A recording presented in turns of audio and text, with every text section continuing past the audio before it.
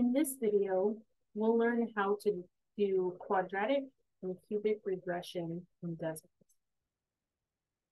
In this example, we're told that gas mileage is tested for a car under different driving conditions.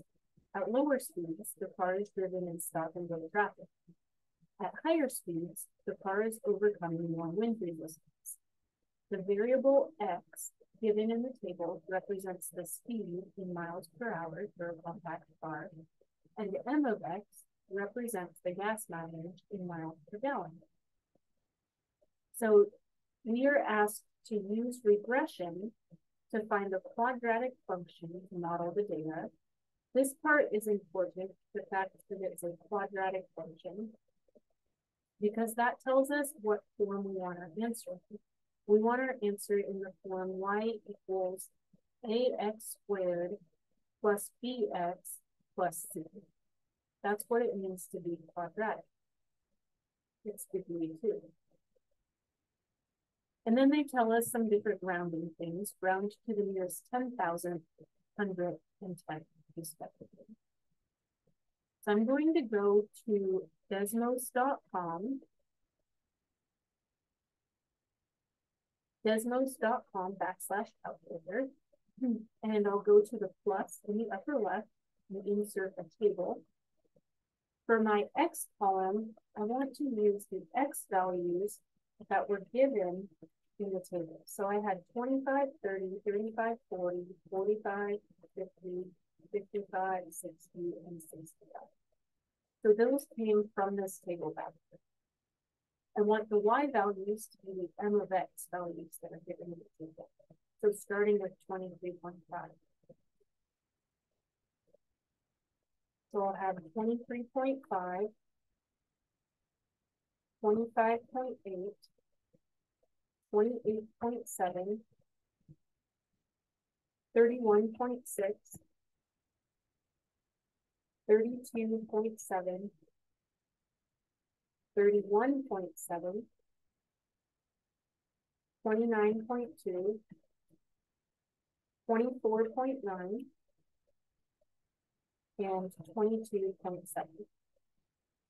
Now, at this point, double check, look back at your data, make sure that your X's and Y's match up with what you were given in your original table. If you enter one value wrong, it will mess up the table. Okay, so I have the table. Now I'm going to go to the second box here, and I want to do Y1 tilde, so I do shift and then the key to the left is the number one on your keyboard. And then I'll do AX1 plus BX plus C. And it says I got something wrong. It says X may not be used as a regression parameter. So it's saying that because I forgot the one on that second X. All right, so now I'm given um, a A, B, and C value. And I forgot the squared on that. So it's AX1. I have to put a square on that in order to make it quadratic. So Y1 tilde AX1 squared plus BX1 plus C. And that looks a little better. So now I have to adjust my window. So to adjust the window, I come over to this wrench on the right hand um, corner, upper corner. And I'm going to go ahead and get rid of my minor grid lines. For the x-axis, I want my lowest x to be smaller than the lowest x in my table. So the lowest x in my table is 25. So I'm going to make my lowest x value over here a 20. And my highest x value is 65.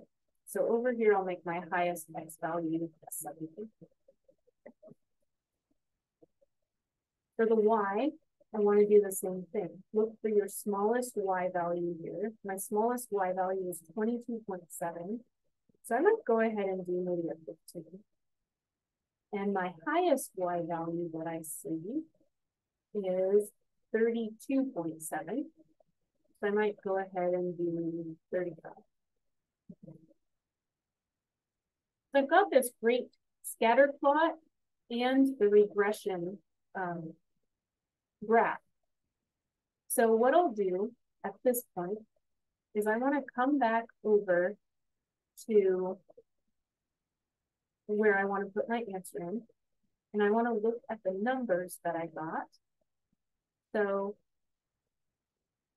my A was negative 0.0236.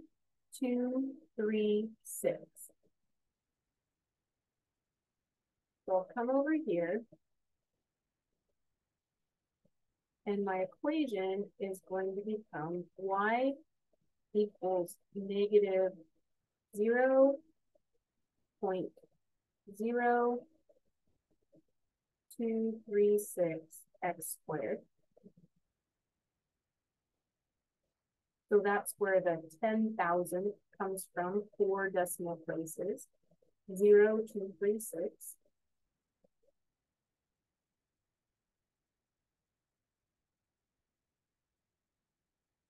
And then the next one, they want to the nearest thousand, I believe, so 2.107. Oh, they only want the nearest hundred for the next one. And then the nearest. So do plus, and I have to go back and look again. I forgot it already. 2.11. I'll go ahead and put in here my 2.11 x, and then the nearest tenth for the last part. So let me go back here. And the C value is negative 15.2 minus 15.2. Minus 15.2. So there's my quadratic regression equation. This would be the answer to my quadratic regression equation. Now we are asked a couple follow-up questions. At what speed is the gas mileage the greatest? Round to the nearest mile per hour. All right, so let's think about what this is actually asking us. It would be the greatest when we have a maximum, right? The speed is, um, at what speed is the gas mileage the greatest? So in other words, where is y the greatest? Now we know that we have a parabola that goes like this. And we know that there's a maximum right there. So there's our max. And that's what we're trying to find. Now with a parabola, that's the vertex. So what we want to do is we want to find the x value of the vertex.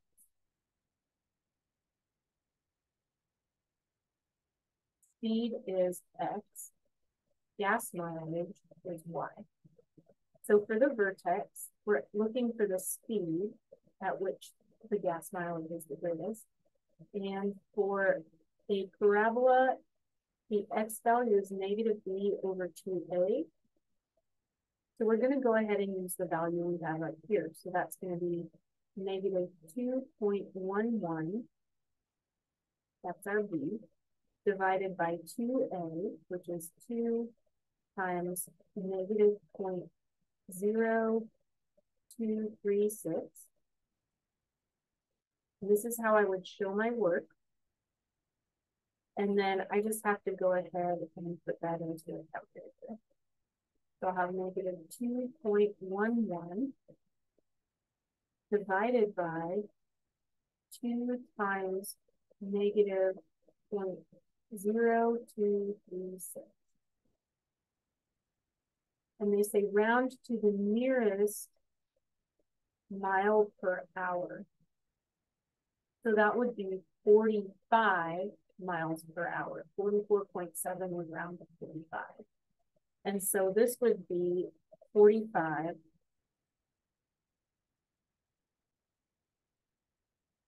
miles per hour.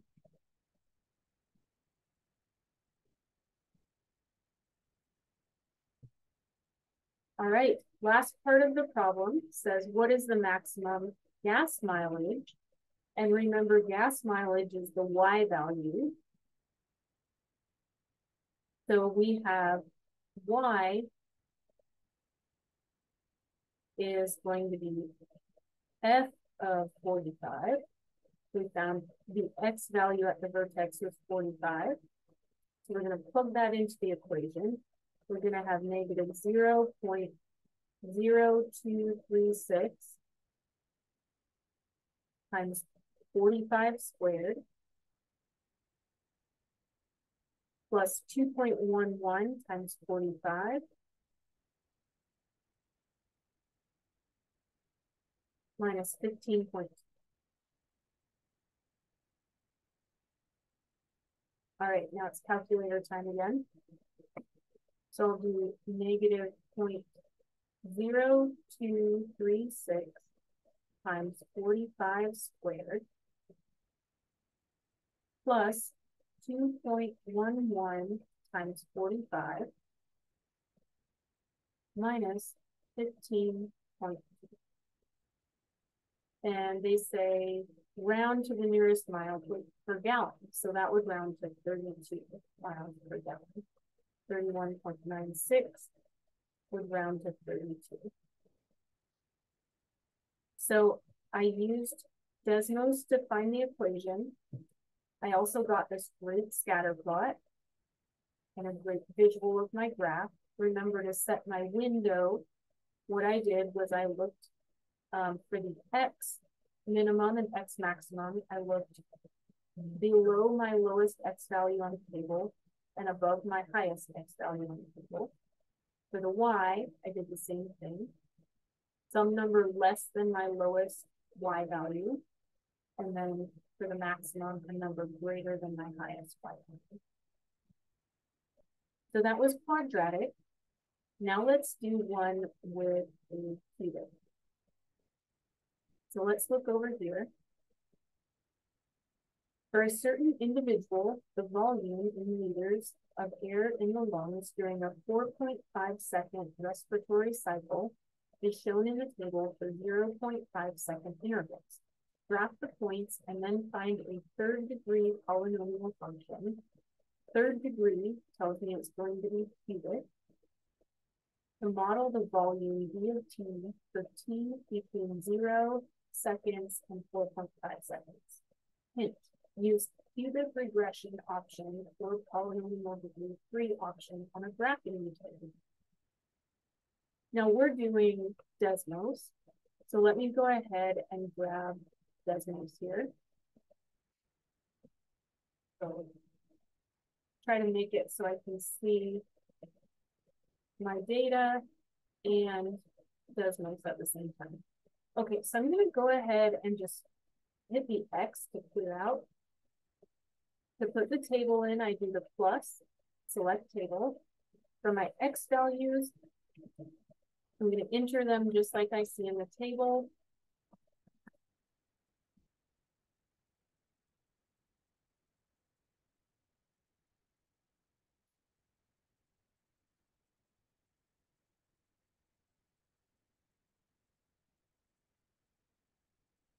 Okay, I have all my X values entered. Now I want to do the Y values, 0 0.00, um, 0 0.09, 0 0.28, 0 0.47, 0 0.63, 0 0.76, 0 0.81, 0 0.75, 0 0.56, and 0 0.20. Okay, I've got them all. So now I go to the next line. They tell me to do a cubic.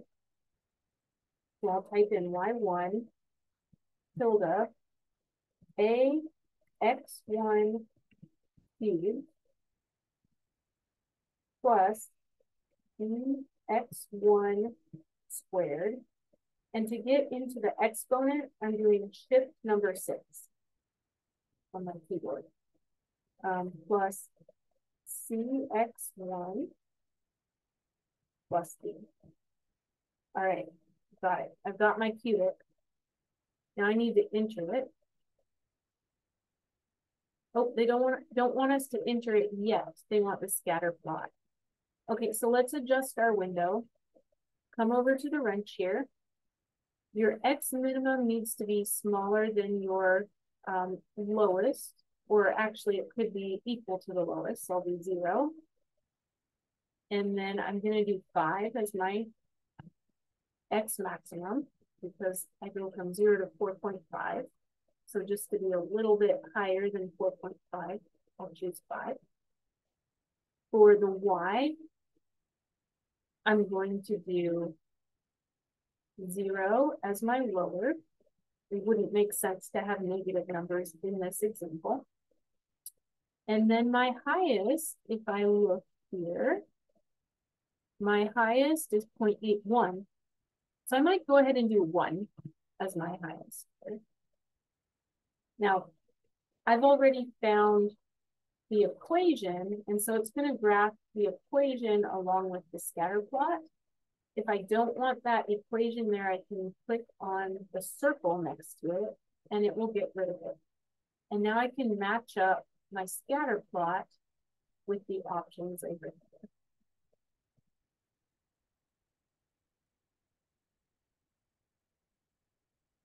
All right, so it matches up with B there. And now they want the equation. All right, so I need the equation that's over here. So let me come back over here. I'm going to switch where these two screens are. Okay, so I've got my equation right here. They say um, round each coefficient to four decimal places if necessary. So my A is negative 0 0.0415. And then I have to do x cubed. My B is 0 0.1602. And that's attached to an x squared. Then I'll do 0 0.1661. That's attached to an X. And then minus 0 0.0089.